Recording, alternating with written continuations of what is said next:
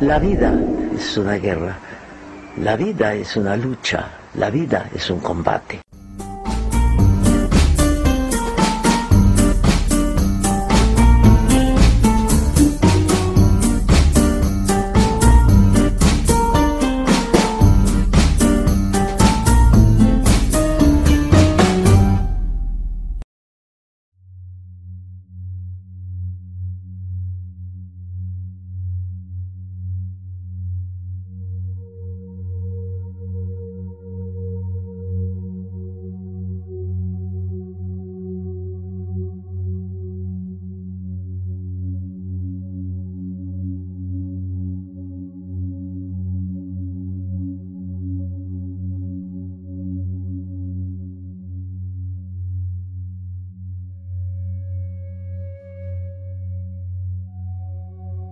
En esta fotografía tomada desde la entrada al tocador hacia el salón principal, la jardinera es Napoleón III. Las cortinas están realizadas en lamé de oro. Las columnas son de laca a la hoja de oro. A la derecha, un retrato de Nonoalco, uno de los caballos ganadores de la célebre cuadra que poseía la doña.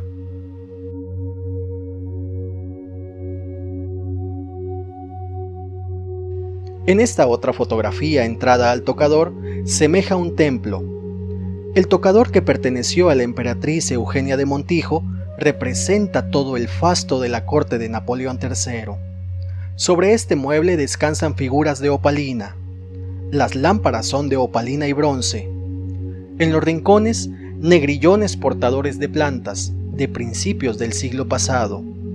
A ambos lados del tocador, un semanario en par de rarísimos muebles de papel maché, con nácar y bronce. Al fondo un secreter también en papel maché, pieza consistente en dos partes. Se convierte en una mesa con juego de damas en nácar. Sobre el suelo, un cofre recubierto de porcelana, silla góndola en papel maché y nácar, tapete de seda iraní.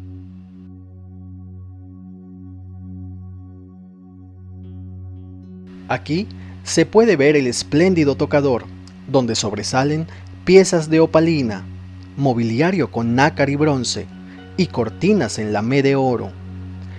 En otro rincón del tocador es notorio el techo pintado como cielo y el taburet llamado accord, recubierto en seda negra, francés del siglo XIX.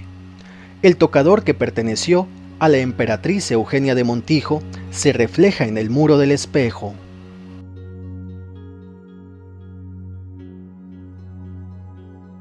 En este ángulo de la sala de baño sobresale la cúpula ovalada cubierta de espejos de donde pende una lámpara en opalina y bronce, de principios del siglo XIX, idéntica a las que iluminaban todo el departamento y que actualmente es difícil de encontrar en el mercado. La pintura que se observa es de Antoine Sapov, y los muros están decoradas con flores pintadas por Gerard Roveri.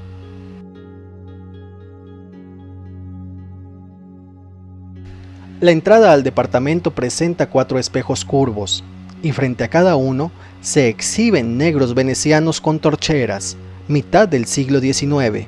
Al fondo, un muro capitonado en terciopelo con botones de nácar que abriga una mesa cuyos lados están recubiertos en nácar y bronce, un trabajo francés de 1820.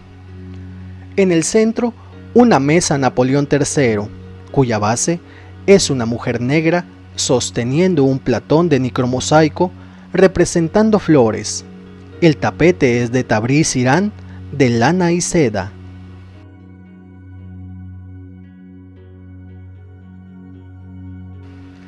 En este rincón sobresale el nicho bordado en Florencia que exhibe parte de la colección de nácar. A la izquierda, una mesa juego inglesa de principios de la época victoriana. Sobre ella, una lámpara con base de opalina cuya pantalla es de nácar y bronce.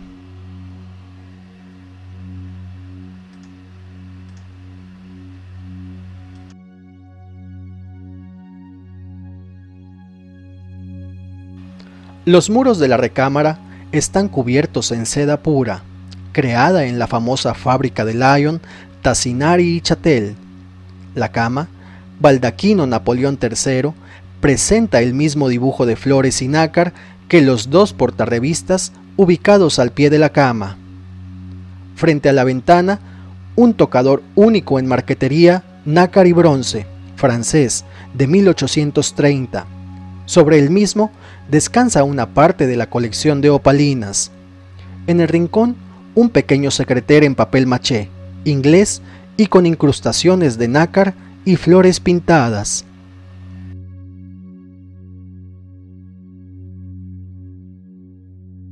En el salón principal destaca el conjunto formado por la chimenea, donde descansa una parte de la colección de nácar, el espejo con marco de nácar y ambos lados torcheras venecianas de mediados del siglo XIX.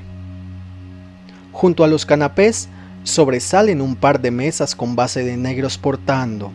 A la izquierda, un servicio de plata francés y a la derecha, una charola con espléndidas botellas de cristal. Frente a la chimenea, parcialmente visible, un lujoso cofre de ébano con adornos de porcelana y gemas semipreciosas.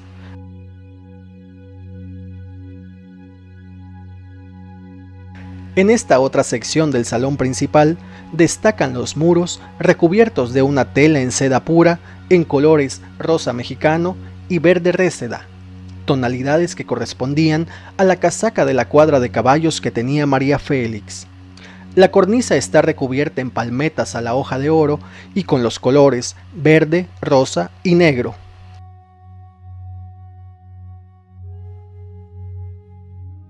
La pasamanería es una creación a mano a base de hilos de oro y seda pura. Las cortinas fueron bordadas a mano en Florencia y cada una lleva 10 borlas con su correspondiente fleco. El tapete es del siglo XIX.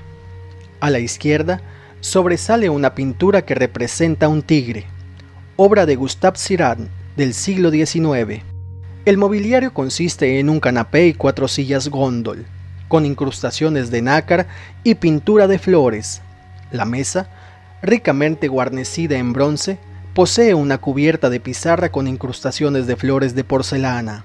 Sobre la mesa descansa otra parte de la fabulosa colección de nácar y sobre el mueble de la derecha también se exhiben piezas de nácar y opalina.